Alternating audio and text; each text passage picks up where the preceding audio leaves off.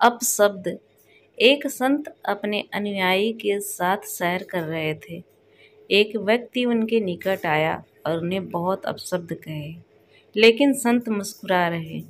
उस व्यक्ति के जाते ही अनुयायी ने संत से पूछा कि, आपने उस दुष्ट की बातों का जवाब क्यों नहीं दिया?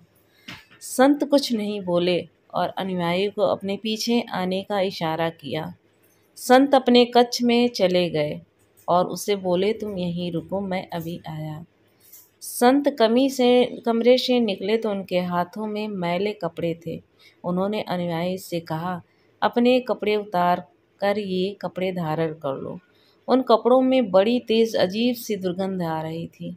उसने उन कपड़ों को दूर फेंक दिया। संत बोले, जब कोई तुम्हें बुरा भला कहे तो तुम क्रोधित होकर उसे के फेंके हुए अपशब्द धारण करते हो।